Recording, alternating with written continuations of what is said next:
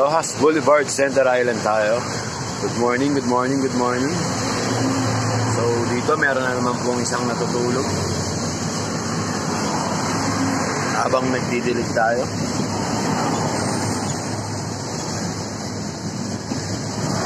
Ayun nyo, may payong. Tinali sa halaman yung payong para hindi pa rin.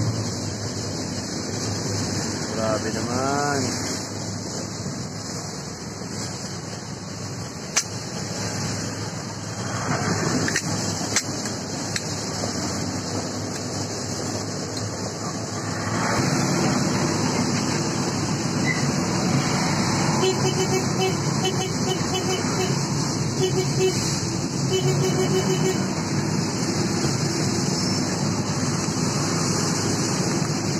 Ay,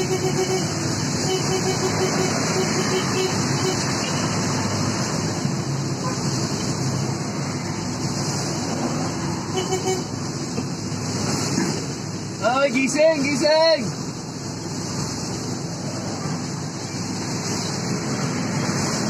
Hindi kami didilig.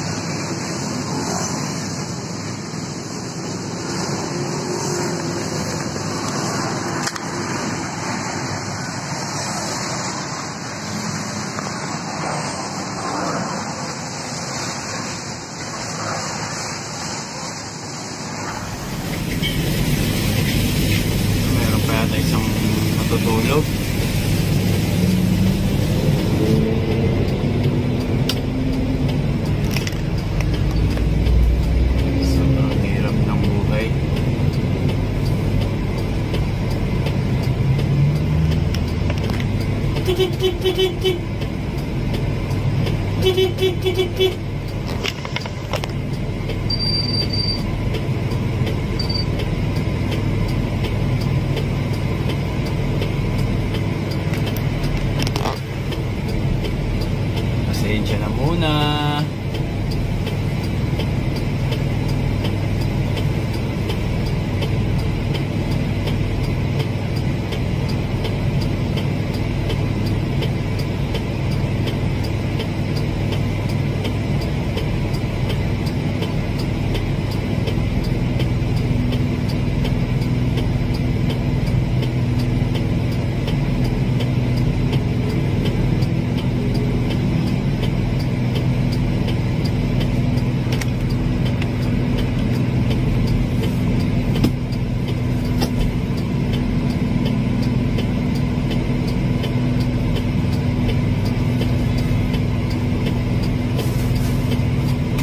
Tawid natin sila.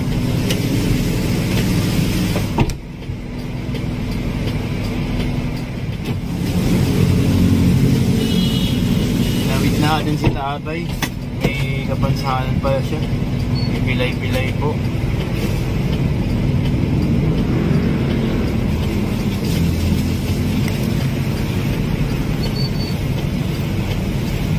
Bibigyan man ako ng isang kahilingan. Sana wala nang taong naghihirap.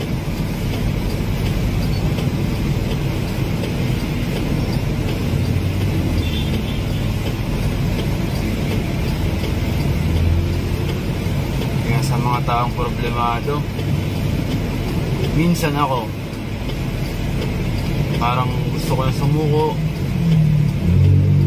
sa dami ng problema.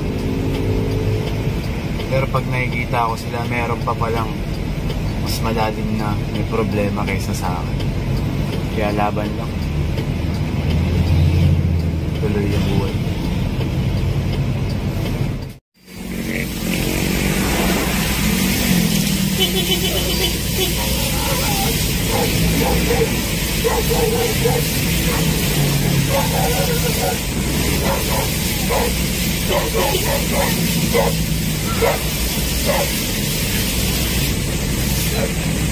Stop.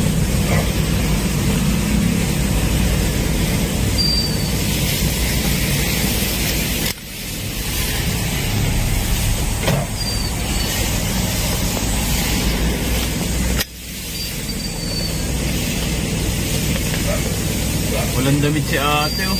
Walang saklot.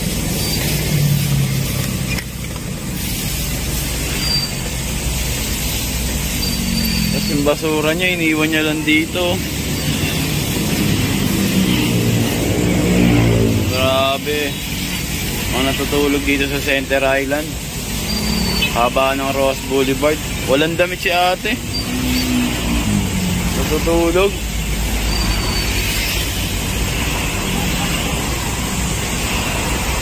eh. Nakakatakot para sa kanila matulog dito sa Center Island.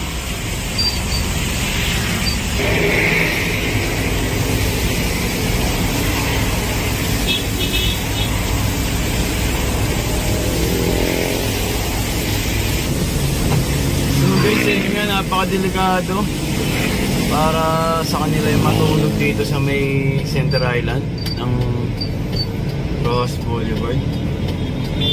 Tapos ginagawa nila yung mga kalat nila, iniiwan na lang nila dito, tinatambak nila. Eh, pinipilit nga po natin pagandahin yung Center Island, mga lugar dito sa Maynila, kaso marami po talagang ano, ah, hindi mapigilan mga bumababoy ng ah, paligid natin na pinapaganda natin. So yun mga kabakos, tayo sa Rojas Boulevard kahabaan tayo. Ayun nga, meron pa ako nakikitang isang natutulog pa yata yun. Bandang unahan. Paano na lang pag nalipungatan sila, bigla silang napatawid sa kalye. Na, baka madisgrasya pa sila. Ano, gumilid na lang muna sila. Matutulog sila.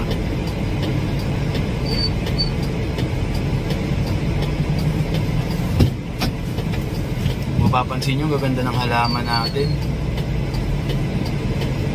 Pilit pinapaganda to.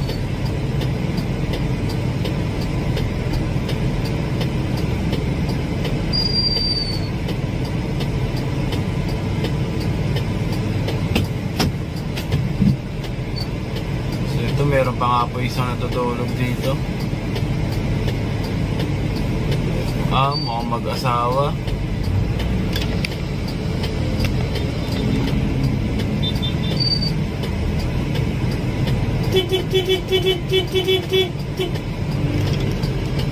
Umaga na.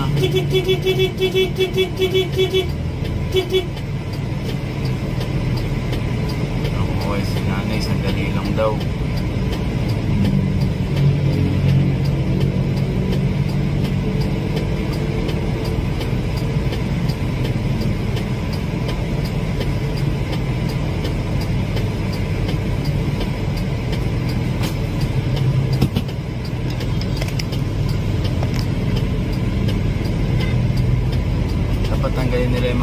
Karton nila dyan.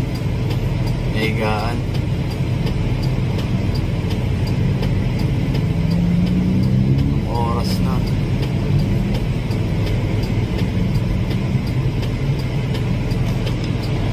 Bibilis na mga sasakyan dito. Baka delikado dito.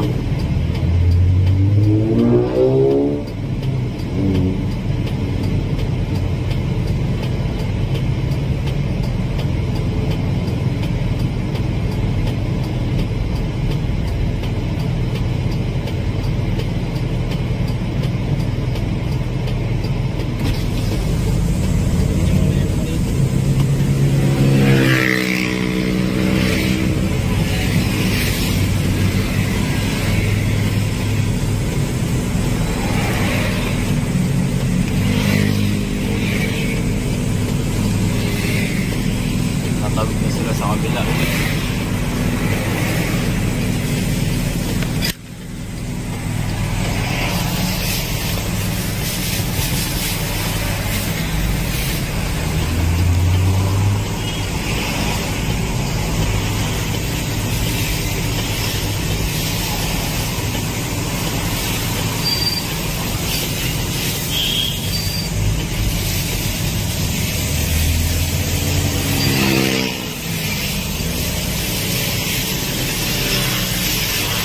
Ng ano nila dito.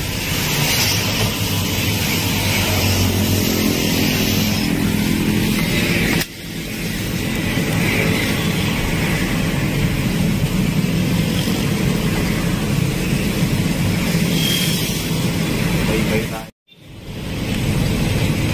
Ano yung titinda sa pagita? Matanda na, no?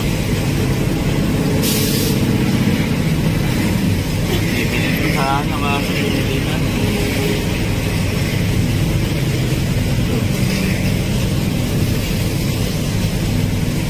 Magkano yan, Nay?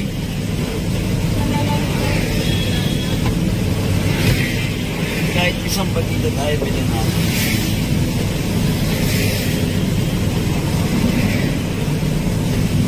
Kano to, Nay?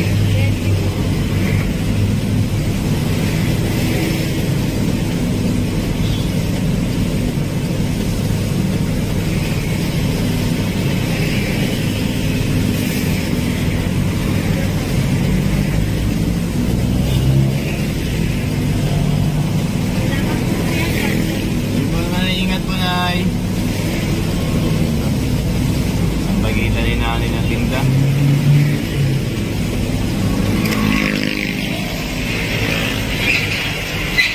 Pagita pa tayo pero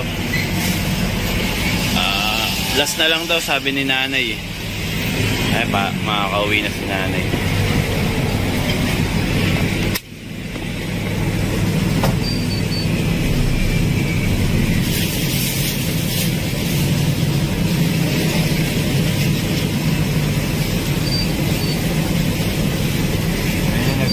Na yung mga gamit niya. Nakaubos na siya ng paninda. Nanay kahit matanda na laban lang para sa pamilya sigurado. Kaya iniiling ko sana. Sakali mang ako sa pag-ibig. Gusto kong tulungan yung mga taong ganyan. Sobrang nakakaano fight para sa pamilya. Lab, laban. Si nanay tumatawid na sa kabila oh. Nakaubos na siya ng paninda niya. Nakikita ko yan lagi dito pag nagkidilig ako lagi dito sa Center Island ng Ross Boulevard si nanay. Madalas ko siyang binibila ng sampagita talaga. Ayan. Pero kahit pa paano madali siya makaubos. So yun, si nanay nga, umuwi na siguro. Boundary na si nanay, naubos na yung ganyan sa pagitan. So ayun, mga baklas, putulin ko muna ang video. Cross Boulevard to. Salamat, God bless. Manila God first. Thank you.